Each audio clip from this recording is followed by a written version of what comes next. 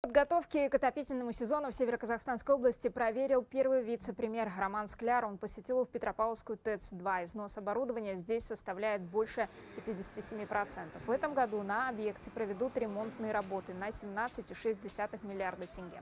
Кроме того, в ближайшие три года для строительства воздушных линий подстанций планируют ежегодно выделять бюджетные средства.